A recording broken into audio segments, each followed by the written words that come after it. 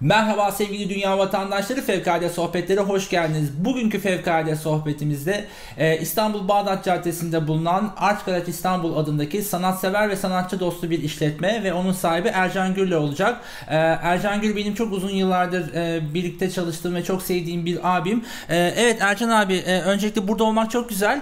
E, Art Garage İstanbul e, nedir? Burası ne yapıyor? Biraz bundan bahseder misin ilk olarak?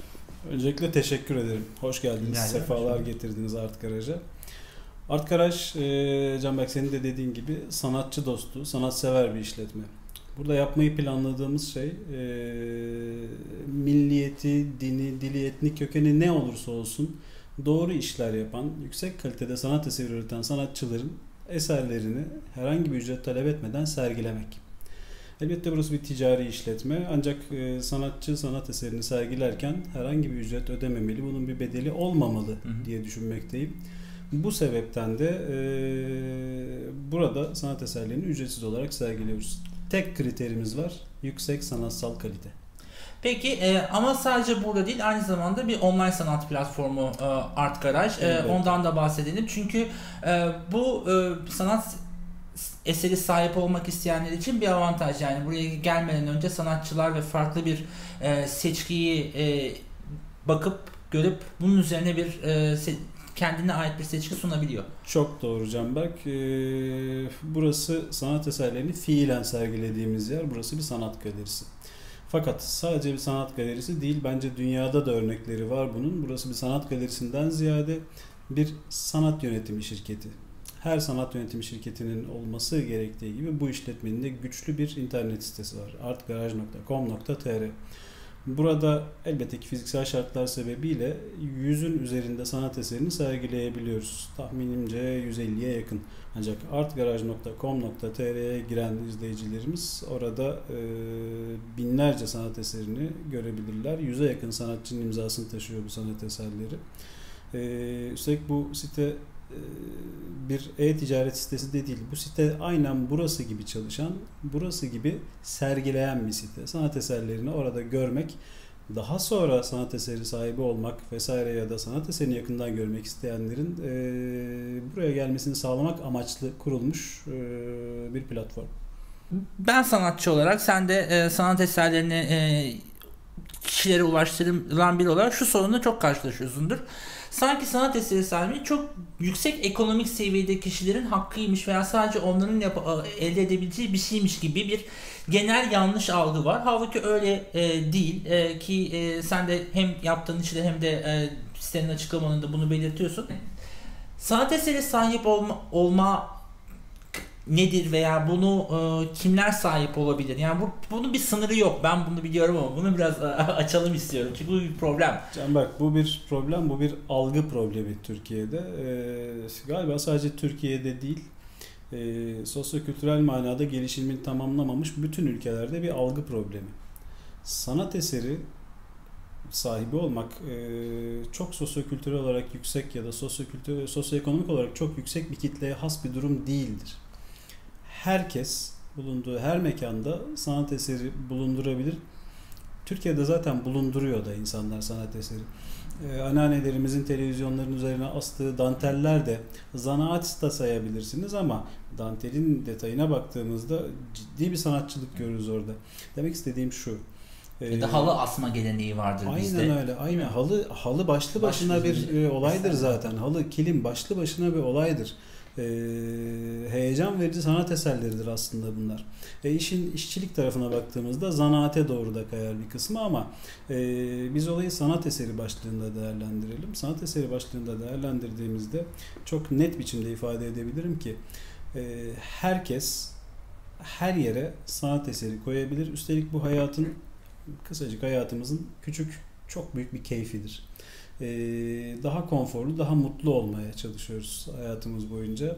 İnan bana e, bulunduğumuz mekanda sanat eseri kullanmak bunun e, son derece kolay ve o kadar da pahalı olmayan bir yolu. E, bir de tabii sanat eseri fiyatı sahip olmanın bedeli nedir? E, kontr sorusu gelecektir arkasından. Evet. E, yüksek değildir. Şöyle yüksek değildir e, biz bir sanat eserinin bedelini duyduğumuzda genellikle o kadar yüksek fiyata satıldı ki başlığıyla duyarız. Hı hı.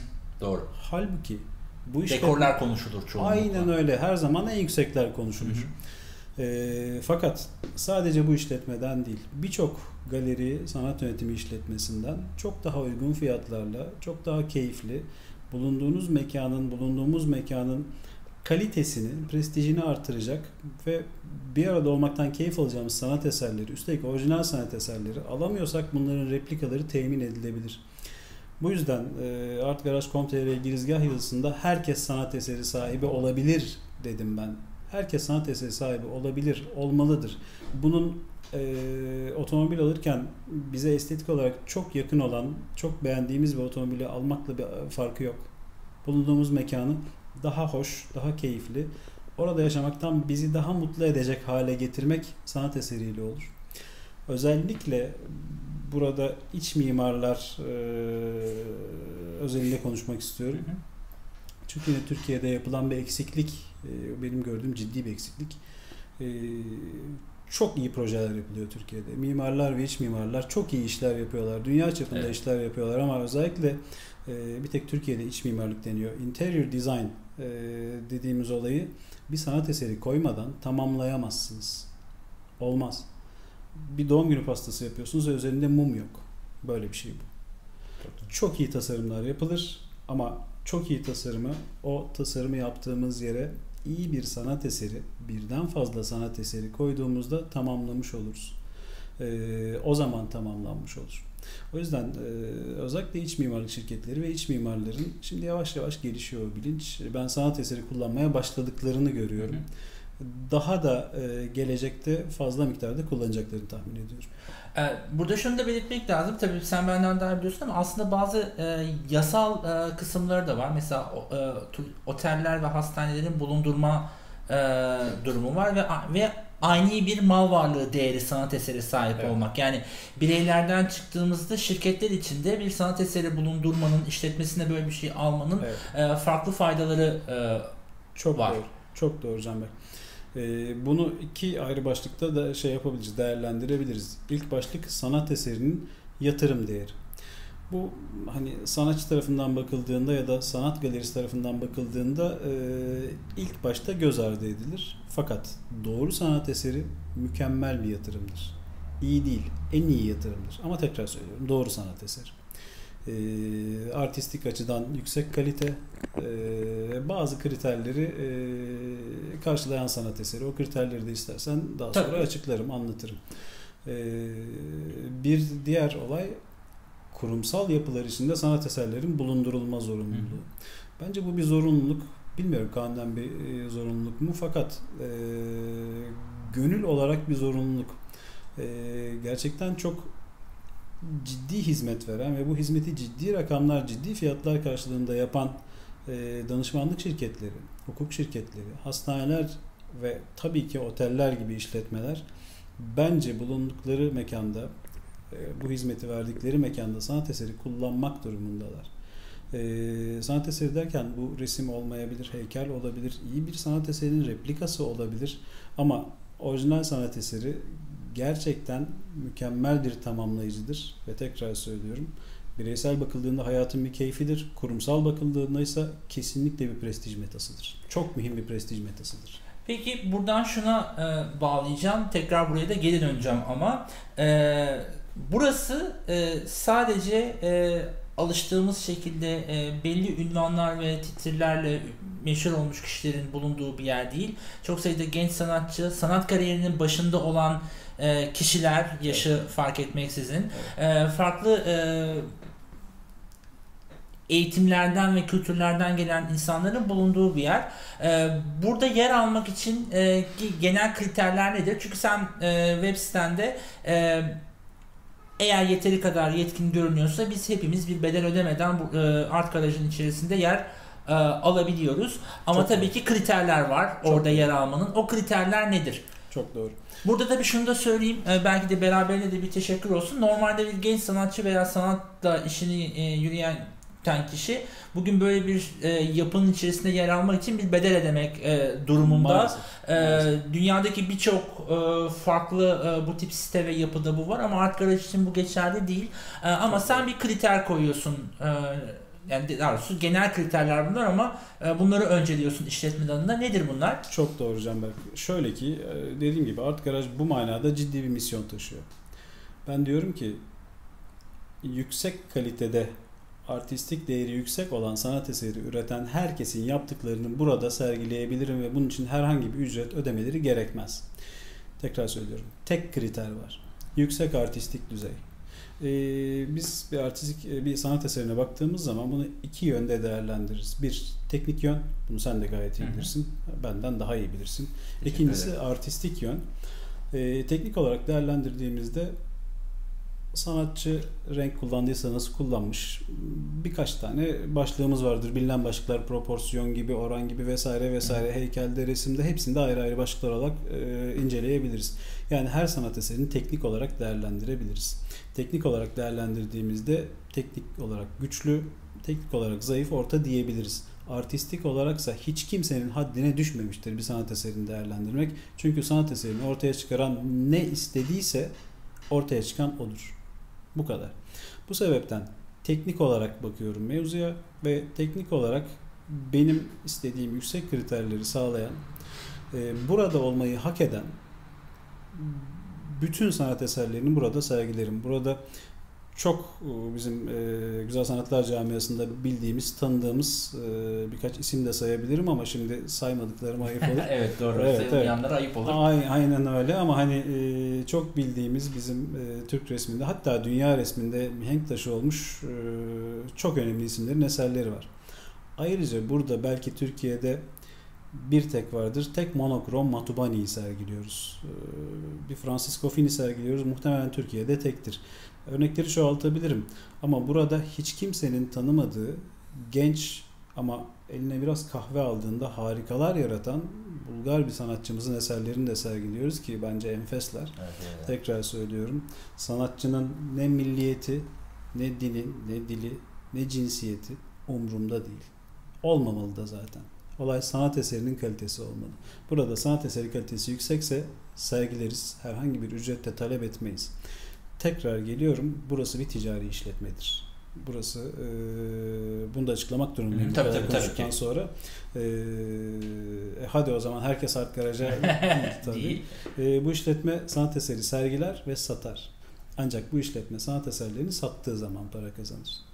Ve bilinsin ki bu işletme sanat eseri sattığında sanatçı en çok kullanacak olandır. İşletme zaten bu manada ciddi bir misyon taşıyor ben var olduğum bu işletme var olduğu sürece, sürece de bu misyonu taşıyacak bu işletme. Tabii e, aynı zamanda Art Garaj'da sanatçının e, kendini var edebilmesi için büyük imkanlar yaratıldığı kadar da e, sanat alıcısı için de avantajlar var. Bir e, orijinallik belgesi e, düzenliyorsun e, ve bunun e, Türkçe ve İngilizce e, olarak da teslim ediyorsun. Evet. Bu nedir ve sanat eseri alıcısı için ne gibi avantajları e, vardır? Aynı zamanda tabii çünkü ben bunu soruyorum çünkü e, kültür varlığımıza ve uzun vadede e, onun e, belgesine de çok önemli. Yani senin evet. gibi buna dikkat edilmesi gerektiğini inanıyorum o yüzden.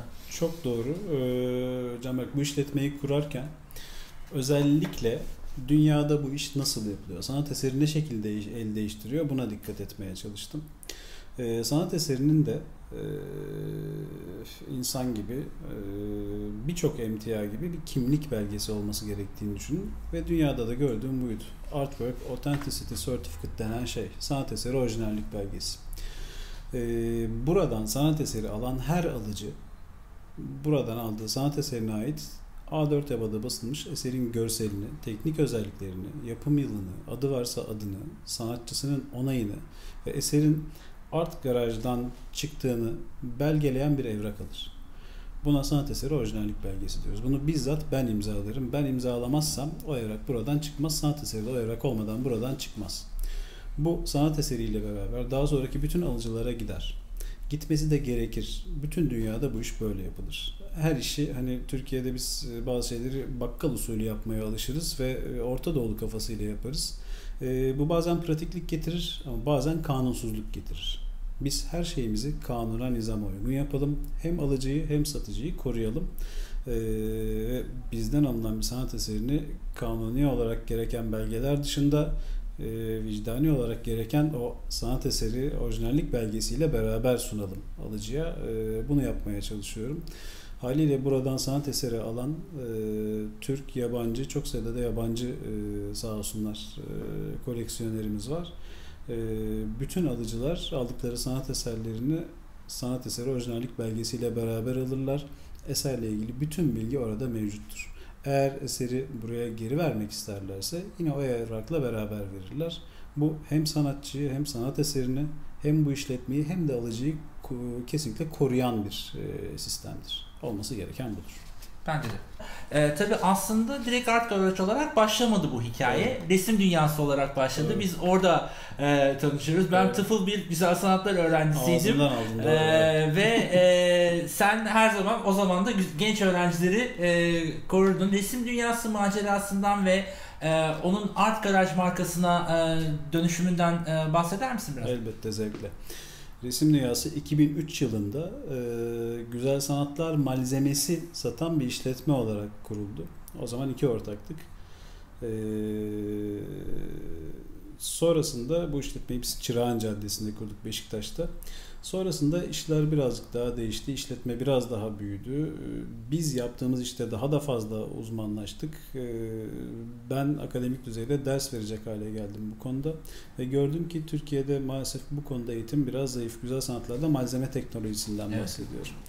Ee, bunu sen de okulda yaşamışsındır. Ee, her zaman söylersin sen onu okulda. Yani şöyle bizim şans şimdi bunu topu böyle atınca bir cevap verme şansım var. ee, ben Yiğit Aral'la çalışma şansına evet. sahip oldukça farkı göre, görebildim. Evet. Evet. Kendisi şimdi zaten e, bu konunun en üst noktalarından biri e, oldu e, prof Tabii. olarak ama ben o zaman e, Yiğit Hoca ile çalıştığım için ve başka fakültelerde okuyan arkadaşlarım olduğu için neyi görmediklerini e, ve görebiliyordum ve senin de aslında ne, bilginin ne kadar derin olduğunu e, objektif bir şekilde değerlendirilme şansım oldu. Çünkü birçok hocadan daha fazla biliyordun e, bu durumu. Birkaç tane özel isim hariç. Tabii tabii tabii kesinlikle. O özel isimlerle bir arada olmaktan, bilgimi paylaşmaktan ve onların bildiklerini paylaşmaktan büyük keyif alıyorum. Her zaman da öyle oldu. Haklarını teslim etmem gerekir. Ee, buna karşılık uzmanlaştığımız alan güzel sanatlarda malzeme teknolojisi. Yani sanat eseri üretmek isteyen bir insanın malzemeyi eline aldığında nasıl kullanacağı, hangi malzemeyi kullanacağı, ne şekilde kullanmayacağı değil. Fakat sonrasında yavaş yavaş işletme büyüdü ama sonuçta burası da bir ticari işletmeydi ve piyasa şartları biraz değiştiğinde işletmeyi suyun üzerinde tutmakta zorlanmaya başladık. Bu arada ben e, şahsi evrimimi muhtemelen sanatsal malzemelerden ziyade sanat eserine yönlenerek e, yaptım. E, sanat eserini sunmak, görmek bir süre sonra çünkü çok fazla sanat eseri görür hale geldim. E, malzemeye o kadar hakimdim ki e, resimlerini yapan koltuk altına koyup bana getirirdi. Ercan Bey ben burada ne yapmışım, nerede hata yapmışım evet. demek için. Ben de anlatırdım. Ee, her anlattığımda e, sanki yanımdaymış gibi konuşuyorsunuz yanıtını alırdım. E, yurt dışından gelen oldu resimlerini göstermeye. Çok enteresan. Sonrasında o kadar çok resim görür, o kadar çok sergi gezer hale geldim ki özellikle resim üzerinde konuşuyorum. E, çünkü sanat eseri dediğimizde hat, kaligrafi, heykel evet. bunların hepsi girer işin içine. E, ama ben çok fazla resim gördüm. Bu manada da bir süre sonra uzmanlığımı sanat eserinin kendisi üzerine kaydırdım. Sanatsal malzemelerden. Sanatsal malzemeler konusundaki bilgimi her zaman her yerde paylaşırım. Zevkle sorulara yanıt veririm. Ee, okulda da gerektiğinde seminerlerde öğrencilerle paylaşıyorum. Hatta hocalarla. Bundan da büyük keyif alıyorum. Türkiye'de bunun çok daha güçlü biçimde verilmesi, anlatılması gerektiğini düşünüyorum. Pigmentin e, hala çok iyi bilindiğine inanmıyorum. Ee, özellikle bu başlıktan bahsedeyim. Rengin hala çok iyi bilindiğine inanmıyorum. Ee, bu dersi iki dilde verdim ve e, dediğim gibi daha fazla açıklanması gerektiğini düşünüyorum. Özetle e, bir süre sonra işletme iştigal alanını da yavaş yavaş sanatsal malzemelerden sanat eseri sunar ve satar hale getirdi. Bu arada benim hep kafamda olan bir isim vardı. Art Garaj şu anda içinde olduğumuz işletme. E, niye Art Garaj e, diye soracak olursan sen sormadan ben söyleyeyim. Çünkü e, bir garaj düzeninde çok fazla öyle e, şıkır şıkır, çok sosyetik olmadan sanat eserine herkesin ulaşabileceği e, imajıyla sunan çünkü herkesin ulaşabile- ulaşabileceği bir şey. Bir anlamda korkutmadan. Aynen öyle. Çünkü galerilerin öyle bir tarafı var. Tabii. Ee, bazıları içeri girmeye korkuyor. O Çok doğru. Çok doğru. O kadar şaşalı, o kadar lüks bir yapı var ki karşısında insanın evet bir sanat eseri sahibi olmak istiyor ama buraya girersem muhtemelen korkunç fiyatlar çıkacaktır karşıma. Ee, bilinçaltıyla girmiyor insanlar oraya. Art Garaj'da bunun tam aksini ben yapmaya çalıştım. Evet burası çok şık bir işletme. Şahane sanat eserleri sergiliyoruz. Buna karşılık herkesin ulaşabileceği Bağdat Caddesi'nden 10 adım attıklarında kapıyı çalıp içeriye girebileceği bir işletme burası. Ee, öyle de olmasını e, istedim. Art Garaj'ı e, direkt olarak markamız, resmi markamız olarak aldım. Türk Patent Enstitüsü'nden e, resmi onaylı markamızdır Art Garaj İstanbul bizim logosuyla birlikte. Ve işletmenin adını da Art Garaj koydum. Şirket adı sabit olarak kaldı. Daha sonra da işletmenin adı, iştigal alanı hepsiyle beraber yerini de değiştirdim. Önce Çırağan Caddesi'nde Beşiktaş'ta olan yerimiz Kadıköy'e. Sonra da şu anda bulunduğumuz Bağdat Caddesi üzerinde Bostancı Suadi arasındaki lokasyonumuza geldi. Ee, galiba bu bir e, Evrimleşme süreci. Aynen öyle, aynen öyle. Yani bir- şekilde e, bir şeyler senin kontrolünde olmuyor. E, yavaş yavaş değişiyor ve bu değişim pozitif yönde olduğunda özellikle sanat başlığında ve Türkiye gibi bir ülkede baktığında pozitif yönde olduğunda e, bunun başarılı bir evrimleşme olduğunu söyleyebiliriz. Bence de çünkü şehir de çok değişti tabii. Çok Yani doğru. bizi izleyenlerle e, duruma çok hakim olmayanlar farklı düşünebilir ama yani Beşiktaş, Kadıköy, Bağdat Caddesi, Bostancı ne nasıl bir ilişki? E, çünkü şehir değişti. Çok yani doğru, e, çok doğru. şehir o kadar değişti ki e, hepimiz aslında buna bir yerde açıdan. uydurmak e, Tabii. zorunda e, kalıyoruz. Çok doğru. Şehir her açıdan değişti. Ülke de her açıdan değişti. Ülke demografik olarak da değişti. Sosyokültürel olarak da değişti. Ama en büyük değişim sosyoekonomik olarak yaşandı. Bağdat Caddesi hep Bağdat Caddesi'ydi. Ee, bir de benim doğduğum yer. Ben bir Erenköylüyüm. Ee, burada olmayı seviyorum bu manada. Ee, fakat o değişim bizim yaşam tarzımıza da işlerimize de yansıdı. Geçmişte yapmayı çok sevdiğimiz, sürekli yaptığımız bir şeyleri artık yapamaz olduk ya da çok sevmediğimiz bir şeylerin artık e, biraz daha keyifli hale geldiğini e, görür olduk. E, dediğim gibi her açıdan değişti. Bu değişim karşı konulabilir bir şey değil. E, hakikaten değişmeyen tek şey değişimin kendisidir Evet. sözünü ben çok severim. E, yapılacak bir şey yok ama biz e, doğru şekilde yerimizi almaya çalışalım. O değişimden maalesef çok açıdan negatif yönde olan o değişimden çok etkilenmemeye çalışalım. Bir de misyon taşıyan güzel işimizi e, misyon taşır e, haliyle muhafaza etmeye çalışalım. Bunu yaparken de elbette ki yaşam standartımızı da muhafaza edelim. Hepsini üst üste koyduğumda çok kolay gözükmediğinin farkındayım. İşte burada bunu yapmaya çalışıyorum.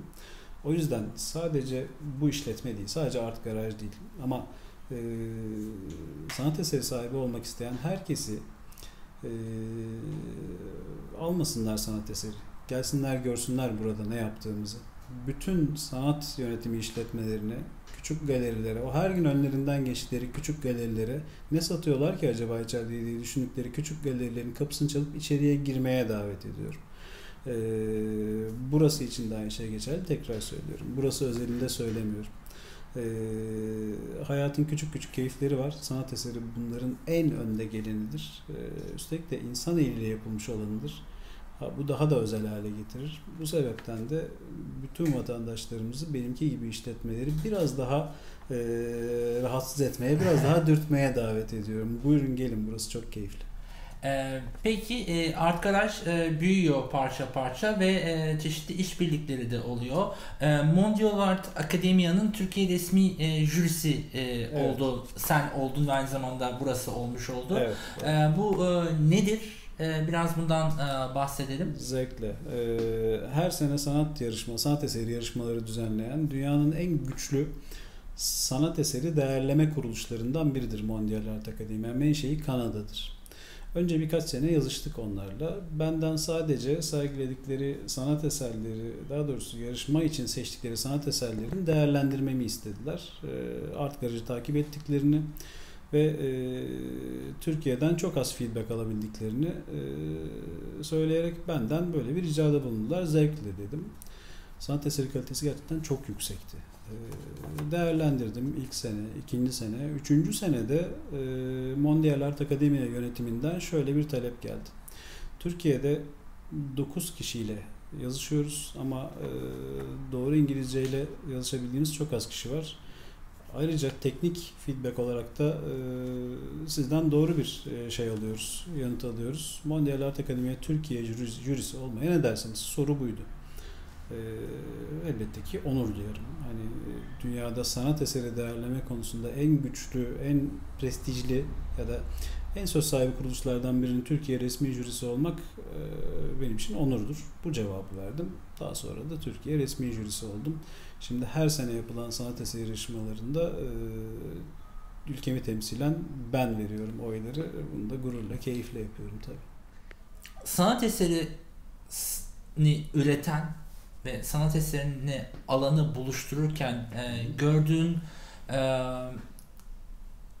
önereceğin dikkat çekmek isteyeceğin taraflar nelerdir? Çünkü e, bence buradaki iletişimde bir kopukluk var e, ve sen işletmende tam da bu kopukluğun e, aracısı yani orayı düzeltmeye çalışıyorsun. Bir yerde tedavisinin de de e, uğraşıyorsun desem e, yanlış olmaz doğru. diye düşünüyorum. Bir, doğru söylüyorsun. Biraz akıntıya karşı kürek çekmek aslında bu. Yani çok kolay bir şey değil. E, sanat eserine çok az ilgi duymuş bir toplumun bir şekilde sanat eserine ilgi duymasını sağlayıp üstelik de e, hayatını, varlığını bununla da idame ettirmeye çalışan bir işletmeden bahsediyoruz.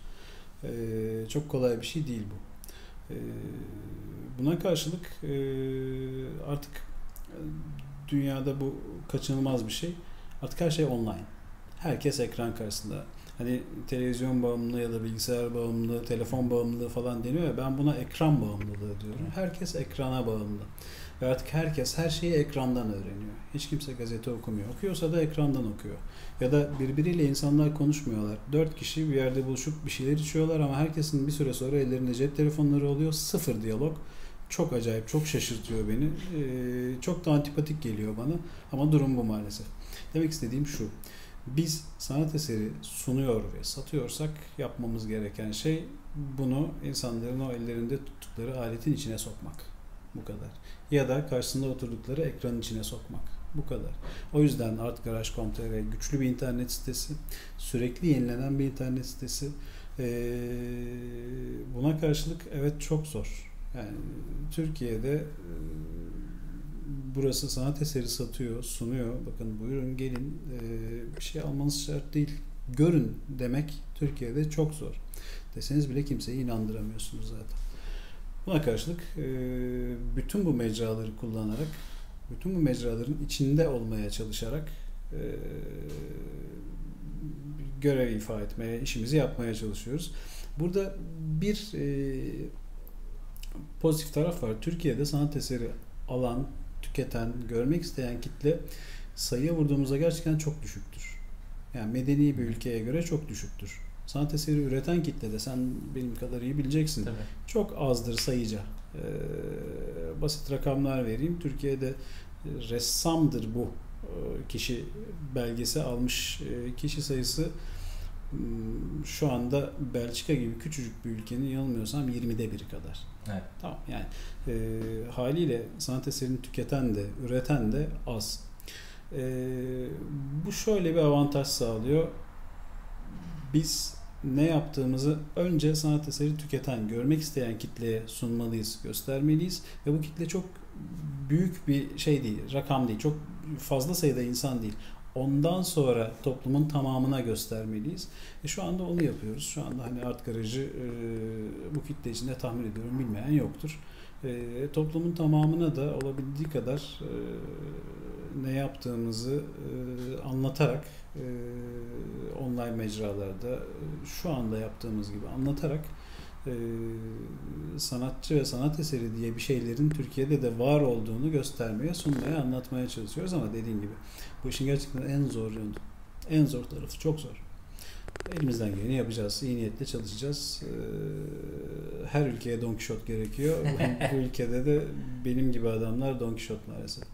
Don Quixote gerekiyor ve Don Quixote'lar ta, tarihi ve varlığı değiştiriyor. Çünkü ben de şuna bir e, ek getireyim ve sana son sözlerini söyleyeyim beraberinde aslında temel eksik bu. Yani Avrupa sanatının gelişimine ve dünyada çeşitli büyük sanat oyuncu e, ülkelerinin gelişimine e, bakıldığında e, senin gibi figürler var. Küçük küçük yerleşen. Ee, ama e, bunlar olmadan e, olmuyor. Zaten o yüzden de ben e, çok kıymetli görüp e, bu videoyu çok yapmak istedim. E, ve bu bağlamda da son sözlerini e, alayım. Hani söylemek istediğin e, ne ya da eklemek istediğin bir şey var mı? Ee, çok teşekkür ederim önce. Ee, bu bir Don Quixote'un başka bir Don Quixote sorusu gibi geliyor bana. Ee, senin de hani sanat adına, sanatçı yetiştirmek, evet. geliştirmek adına neler yaptığını ben çok iyi biliyorum yıllardır. Senin kendi gelişimini de biliyorum. Bunu gözlerimle gördüm. Bir üçüncü kişiden evet. değil. Ee, seni e, hani dinlemek isteyen benden dinlesin. O kadar net söyleyeyim. Ya da istasyonu neyse yani. E, o yüzden söyleyeceklerimi en iyi anlayacak adamlardan biri olduğunu biliyorum. Büyük Atatürk'ün dediği gibi e, sanatsız kalan bir milletin hayat damarlarından biri kopmuş demektir. Kültür sanat bizi suyun üzerinde tutar.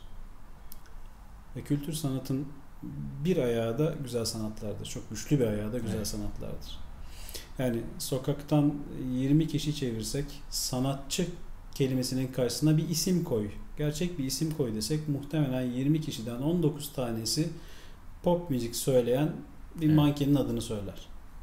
İşte 19 sayısını 17'ye 16'ya düşürüp 3-4 tanesinin bir heykeltıraş, bir ressam evet. ya da e, Türkiye'de biraz daha böyle güzel sanatlarda e, gerçekten ülkenin bir adım öteye gitmesini sağlamış bir ismi vermesini sağladığımızda biz gerçekten bir şeyler yaptık demektir. İşte o e, kopan damarı ya da kopmak üzere olan damarı biraz tedavi ettik demektir. E, bir süre sonra bu olacaktır. Biz bütün Don Kişotluğumuzla iyi niyetle e, el değirmenlerine karşı savaşmaya, çarpışmaya devam edelim.